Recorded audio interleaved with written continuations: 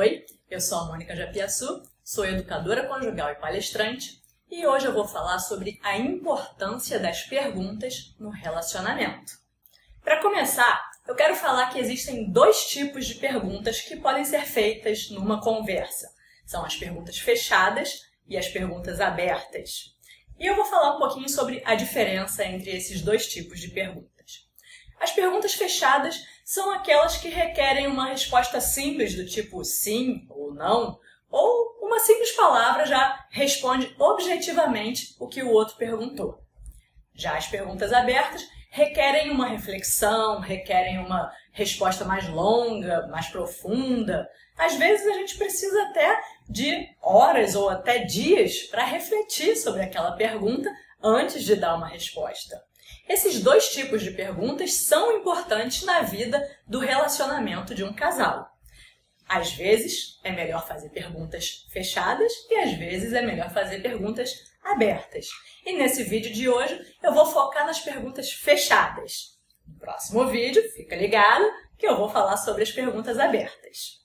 As perguntas fechadas, como eu disse antes, são aquelas que são respondidas com um simples sim ou não, ou uma palavra.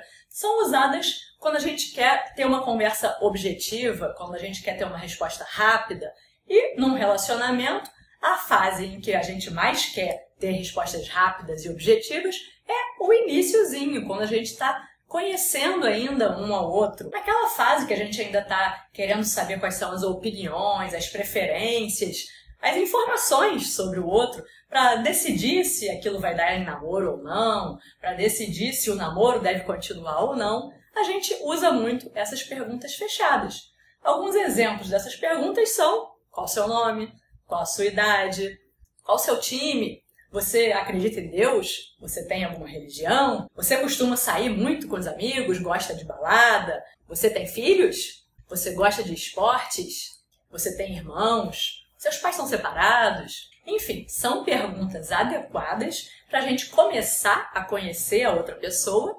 E se a gente já tiver segundas intenções, já quiser ficar com aquela pessoa, ver se pode evoluir para um namoro, certamente a gente já vai ter perguntas aqui prévias na cabeça para fazer para essa pessoa, para conhecer melhor quais são os gostos, as preferências dela, e de acordo com o que a gente quer para uma pessoa que vai ficar ao nosso lado, a gente já vai direcionar essas perguntas. Tem gente que prefere ter ao seu lado uma pessoa que tenha os mesmos gostos, as mesmas preferências, queira sair para os mesmos lugares.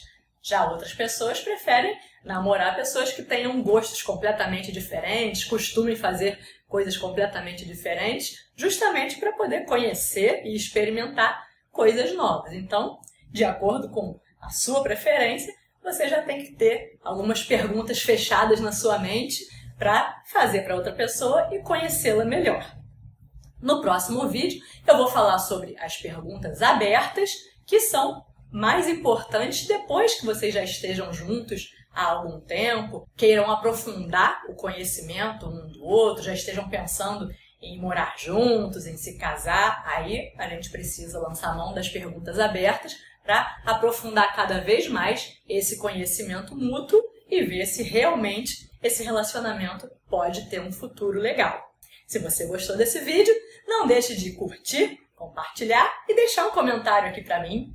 Não deixe também de se inscrever no canal youtube.com.br família quadrada e ativar as notificações, porque aí você vai saber quando que o próximo vídeo vai sair. Segue também o Instagram Casal em Construção. E por último e mais importante, comece agora mesmo a aplicar essas dicas no seu relacionamento. Até a próxima!